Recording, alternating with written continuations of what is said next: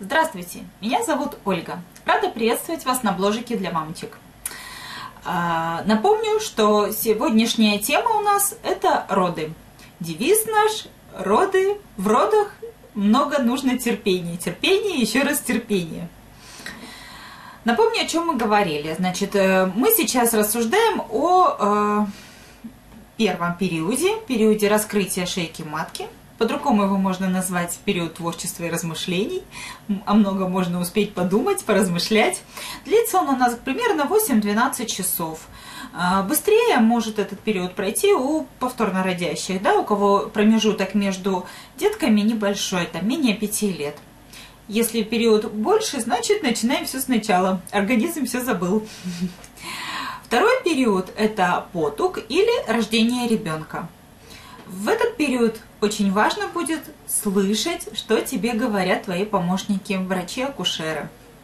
Третий период – это период рождения последа. Он длится а, от 15 минут ну, до часа, до двух иногда бывает. Ну, как правило, быстрее все происходит. Так вот, в, э, в прошлый раз мы вступили а, в первый период – который у нас э, у кого-то был начинался с отхождения вод, у кого-то сразу со схваток. Э, раскрытие шейки матки произошло до 4-4,5 сантиметров. Либо, если это было отхождение вод, значит, мы все равно поехали в роддом, не дожидаясь схваток. Э, значит, мы приехали в роддом. Внизу заполнили кучу бумажек, без этого никуда не деться, бюрократия. Э, и поднялись в родовое отделение. Возьмите с собой э, пару пакетов, да, сумок, чтобы можно было туда убрать вещи, в которых вы приехали. Ну, если они отдаются там мужу или кому-то, то, значит, удобнее нести, либо если это поднимается, то тоже удобно убрать, да, как-то переносить это с собой. Так, и переходим с вами к активной стадии, когда шейка матки интенсивно раскрывается э, от ну там от четырех с половиной, если оно уже раскрыто до 10 сантиметров, либо это, если отходили воды, значит все равно до схваточки начну, начнется э, раскрытие шейки матки. И ребенок у нас почти готов появиться на свет, с нами встретиться. Э, какая самопомощь, да, вот мы с вами говорили тоже, какая самопомощь может быть здесь? Это удобная поза. Горизонтальная поза, когда мамочка очень устала, потому что если это уже давно схватки, или она, допустим, не отдохнула накануне, что тоже может быть, то горизонтальная да, поза. Кстати, возможно, ну, довольно комфортно тоже. То есть надо, конечно, по себе ощущать это. Еще когда горизонтальная поза? без вариантов, да, когда слушают сердцебиение, допустим, ребеночка проверяют, или если какие-то препараты, медикаментозный какой-то прием препаратов тоже лежим. Вертикальная, средняя или низкая поза. Чем ближе к родам вообще, тем, тем считается, что поза ниже. Вот. На мече, допустим. Сама, честно говоря, на мече я не использовала, не, не пробовала, да, вот. Но видела, когда э, девочки э, в роддоме вот э, рожали как бы именно в такой позе на корточках.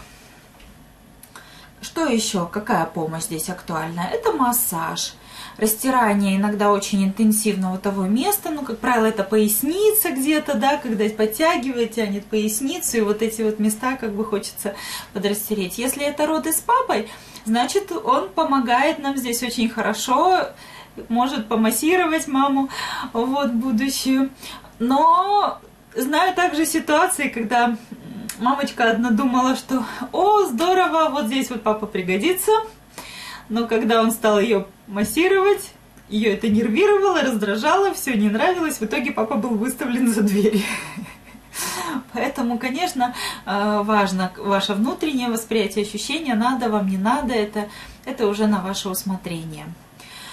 Еще очень важно дыхание. Дыхание вообще мы ему уделим особую, особое место. Дыхание в родах – ну, огромную роль играет. Это огромный помощник, правильное дыхание, да, как может испортить, если мы неправильно дышим, так и может очень хорошо помочь. Я даже знаю мамочек, которые ходят именно э, обучаются правильно дышать, и кто занимается, занимался йогой, допустим, вот там же тоже правильное дыхание, это очень помогает. И говорят, что о, я только этим и спасалась, вот дышала, дышала, дышала. Так вот, начинаем э, выдох удлинять свой, да, или озвучивать. То есть один-два вдох, один, два, три, четыре выдох, то есть выдох у нас длиннее становится. И чем чаще схватка, тем длиннее выдох становится. И выдыхаем мы прям тут вниз, да, кто-то со звуком, кто-то без звука. Ну вот я беззвучно выдыхала, но тоже. Мне, допустим, очень помогало, когда я стояла в палате кровати, у них были такие круглые ручки, я за них держалась и выдыхая, как бы на них опиралась, да, то есть вот мне это очень помогало так сильно а, на схваточке. А, очень хорошо помогает вода, опять же, да, мы уже про воду говорили, уделяли ей внимание. Так вот, до 6 сантиметров раскрытия, а, почему нет? Э, я, например, сама тоже шла под душ и время, во-первых, пролетает немножко по-другому тогда, потому что пока ты в перерывах между схватками до душа дошел, вот, пока ты там разделся, постоял, и когда схватка, то такой активный массаж струи воды именно на какие-то вот, ну, опять же, на поясницу скорее, да, на какие-то места, которые тебе вот доставляют больше дискомфорт, а когда схваточка отпустила, то согревающая э, водичка просто для тела, вот, и тоже температуру воды варьируем, там, в зависимости от того, усилить мы хотим схватки или, наоборот, расслабить. Вот, это тоже очень хорошо помогает. И таким образом мы с вами переходим ко второму периоду, так сказать, да, под периоду, период потуг. Что такое потуга? Потуга – это схватка плюс желание сходить по большому. А, так как идет давление на прямую кишку, поэтому такое желание может возникать, да? Ну, вернее, оно и возникает. Когда желание становится нестерпимым, тогда начинаются потуги. А, значит, что мы с вами имеем к этому периоду? Мы имеем полное раскрытие шейки матки плюс желание потужиться. Но тут нужно немножечко притормозиться, а, так как ребенку нужно, ребеночек же тоже у нас работает, он же в этот момент у нас на схватках пристраивается, готовится к родам, он а, должен у нас а, пройти вот этот вот путь от шейки матки до влагалища, да, и у, у ребенка происходит опускание головки на тазовое дно. Какая здесь у нас может быть самопомощь? То есть мы подходим непосредственно к периоду, когда уже нужно рожать, да, вот уже когда вот-вот наш малыш появится, какая тут самая помощь? Ну, самопомощь, это что? Это э, поза низкая, да, корточки, так называемые, там на коленях, э, либо лежа на боку с поднятой ногой, тоже такие варианты, да, есть, ну, в принципе, я оба раза классически рожала на кресле, получается. Вот, ну, да, там вот помогают потом. Значит, э, массаж здесь уже не актуален, но что у нас имеет огромное значение? Дыхание, да, мы уже говорили, что дыхание в родах, оно самое важное, наверное. А, значит, какие могут, какие виды дыхания бывают? Собачка, да, вот. Но тут э, очень сушит горло, честно говоря. Вот. Может быть, кто-то, у кого-то нет, но вот кому-то, может быть, это и актуально. Пушок, когда как пух отгоняем от себя, да, или как свечку задуваем, да, дуем. Или на всхлип. Два резких вдох, вдоха через нос и два резких выдоха через рот. Вот змея, резкий вздох, глаза наверх, и выдох, с, сомкнутые зубы, и как бы глаза вниз, и со звуком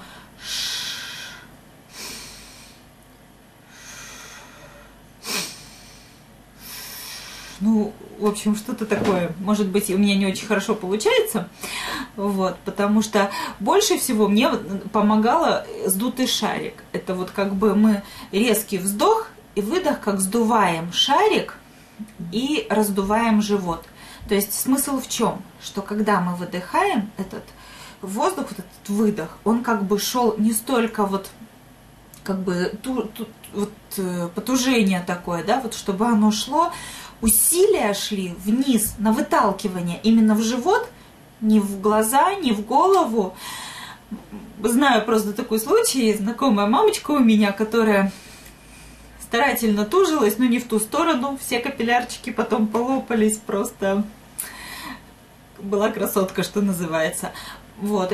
А помощи тогда нет, да? Важно именно вот чтобы на, в живот туда уходила вот эта вот помощь. Правильное дыхание мы дуем, выдуваем туда, именно вниз как бы. Вот. Э, единственное, хочу уточнить, девочки, которые беременные, не переусердствуйте с дыханием, будучи уже на хорошем строке, раньше времени не провоцируйте. Все хорошо вовремя.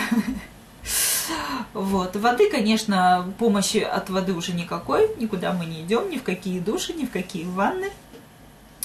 Ну и что? Ребенок у нас на финишной прямой, поэтому начинается, так сказать, вот этот вот у нас идет период дураков, то есть когда нам нужно просто внимательно слушать помощника, который рядом с нами, который нам подсказывает, что делать. Не просто слушать, но и слышать его, да? Вот. Делать правильно все. Не торопиться, если э, сейчас э, вам говорят, что вот отдыхаем, значит отдыхаем. Если э, работаем, значит работаем. Что у нас происходит? Когда головка появляется у ребеночка, да, он рождается, головка у нас проходит, появляется, нужно э, небольшой период подождать, выждать. Для чего? Почему говорят, что нельзя тужиться? Должны плечики подойти. То есть головка прошла у нас, э, ребеночек поворачивается так, чтобы плечики тоже встроились. И вот когда он уже повернулся носиком бок, то опять начинаем работать а, и этот перерыв может составлять до 4 минут. Ничего страшного в этом нет, я говорю, всегда вам акушерка подскажет, что и как делать. И, в принципе, все, ребеночек родился, прошли плечики, и ребеночек вышел и оказался на животике у мамы с другой стороны. Вот это наша встреча долгожданная от, э, в этот момент идеальный, конечно, вариант, если малыша еще не отрезав пуповину, приложили к маме груди сразу, и он начал сосать молозиво. Э, что происходит в этот момент? В этот момент происходит сокращение матки, да? Почему очень важно кормить грудью? Чтобы быстрее маме в том числе восстановиться. И малышу хорошо, и маме хорошо, красота. Вот. И, значит, Через какое-то время отсекают пуповину, обрабатывают. И у нас остался третий период, это рождение последа. Что у нас происходит? Значит, э, в течение ну, от 15 минут до часа, у кого-то чуть больше по времени получается, рождается послед, его обязательно осматривают, чтобы там много оболочек, чтобы все это вышли. Обязательно осматривают матку, родовые пути, шейку матки, состояние влагалища. Если э, есть необходимость, э, то зашивают. Да? А, обязательно вам скажут, какие внутренние швы, которые с ниточки рассасывающиеся э, зашили. Обязательно скажут, сколько швов нужно снимать. Запомните эту информацию. Вот, не пугайтесь это. Ничего страшного в этом нет. На четвертые и пятые сутки, как правило, снимают швы. Почему мы говорим, да, что нужно знать, сколько их сняли. Ну, это логично, в общем-то. Вот. Не пугайтесь, если э, рассасывающиеся ниточки, внутренние какие-то швы могут выходить, и маленькие красные узелки, тоже ничего страшного в этом нет. Значит, э, что мы делаем, как обрабатываются швы, да, если вдруг их наложили? Ну, конечно, рекомендации общие вам обязательно дадут э, акушеры, которые, врачи, которые вас зашивали. Но, в принципе, это что? Частое подмывание, да, каждые три часа это нужно подмываться, соответственно, смена прокладки. Вот, и про прокладку, если вы помните, мы говорили, что лучше, если она без сетчатого покрытия. Вот как раз-таки для этого случая если вдруг вас зашивали. Вот меня, допустим, дважды зашивали. Поэтому могу сказать точно, что это вот ну, самый комфортный вариант. Кстати, я тогда не сказала об этом, но в принципе, как вариант, если кому-то удобно, можно использовать одноразовые трусики, да, тоже как вместе с прокладкой, очень удобно может быть. Проветривание, сушка кожи, промежности и груди. Это тоже такой важный момент. Ну, понятно, что это не так, что ты разделся и ходишь голышом. Так и не получится, потому что времени, как правило, очень мало. Ты быстренько э, вырываешь какие-то минутки, особенно когда это первый ребеночек, то очень страшно его еще оставить одного на долгий промежуток. Все время прислушиваешься, а вдруг он запищал. Вот, и, кстати, малыша в это время обязательно ложить безопасно, да, не оставляйте его на своей кровати, тем более на пеленальнике, обязательно кладите его в свою кроватку, которая защищена бортами, потому что хоть и кажется, что эти маленькие кулечки никуда не денутся, на самом деле они очень юркие. Вот, не испытывайте судьбу.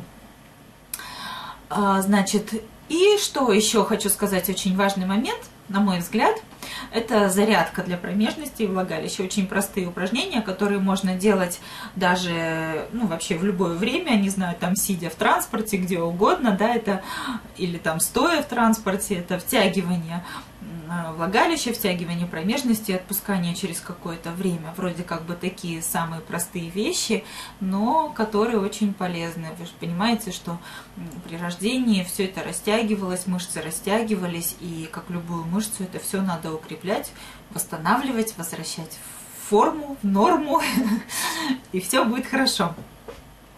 Значит, э, когда мы выписываемся уже из роддома, мы потом посещаем женскую консультацию. Вообще идеально это три визита в женскую консультацию. Первый через 10-14 дней, когда э, там ну, как бы смотрят, да, тоже вас. И справочки необходимые, там бумажки какие-то забираем, вернее, ну да. А, я в первый осмотр, получается, брала справку женской консультации на пособие. После выписки из роддома мы должны по-хорошему э, трижды посетить женскую консультацию. Первый раз это через 10-14 дней, второй раз это э, месяц, да, это тогда уже с полным осмотром, то есть посмотрят, как у нас чего заживает, если что-то должно зажить, ну и вообще как происходит сокращение матки, полный осмотр, да. И третий раз это в 6-8 недель. Ну, еще момент такой есть, когда в, для детской карты, вот, допустим, в Санкт-Петербурге, а, берется бумажка, справка. Вот. Но у меня получилось, что я ее в первый визит, в принципе, взяла.